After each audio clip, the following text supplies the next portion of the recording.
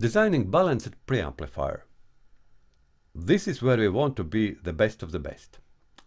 Let us remember what James Bryson said about a QB amplifier benefit. One key differentiator of the perfect amplifier was the preamplifier circuit designed by engineer Alexander.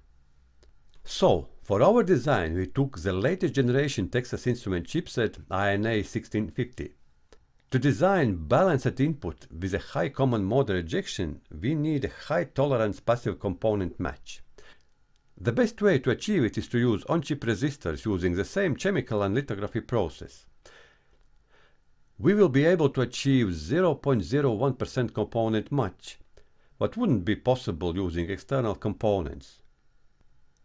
This chip integrates input buffer and suppression filter ensuring the best of the best performance. And finally, the chip has exceptionally low 120 decibel total harmonic distortion. This is more than 100 times better than we actually need. Does it come with the costs? Yes, this preamplifier is 10 times more expensive compared to simple discrete components balanced design, what typically is integrated into amplifier modules. Is it better? Yes, it is. It is far better in all aspects. Will it raise amplifier costs? Sure but it is worth any penny when we are aiming at the best possible quality and reliability. How do we compensate it to meet a target price? We will take rational decisions choosing connectors and enclosure design keeping it simple and aesthetic. INA 1650 specs. Uh, let us take a brief look to the specification. High common mode rejection, 91 decibel. The theoretical maximum is 100 decibels, achievable by specific passive uh, super precise balanced audio transformers. High input impedance 1 megohm in differential connection, excellent. Ultra low noise, minus 104 dBu unweighted. For us it simply means noiseless.